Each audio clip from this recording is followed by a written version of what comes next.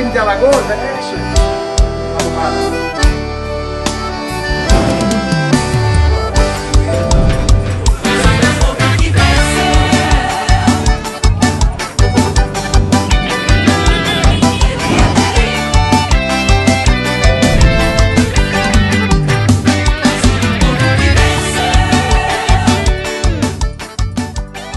Estamos aqui hoje é, com muita alegria, com muita felicidade, porque temos a oportunidade